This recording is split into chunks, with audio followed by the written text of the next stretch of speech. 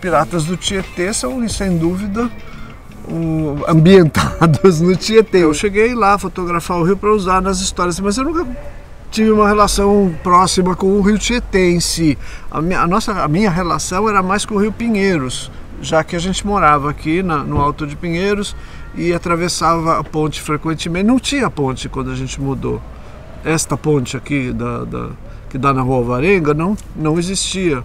A gente atravessava de um lado para outro na base da aventura, assim, naquele, naquele pontilhão com os canos, assim, onde, onde estão os canos, os dutos, né? E a gente atravessava ali, se equilibrando em cima do rio. Já era um rio muito fedido, né? A quantidade de esgoto que, que existia ali, já desde os anos 60, era muito grande, era um rio muito poluído. Uh, e, e, e, tinha as margens do rio, do rio Pinheiros, que era um mato mais ou menos cenário de aventuras assim, não era muito seguro ir para lá. Tinha a linha do trem, tinha uns, era um ambiente meio assim arisco, para você ficar de olho aberto. Mas a minha como é chama, a minha convivência maior assim era com o Rio Pinheiros.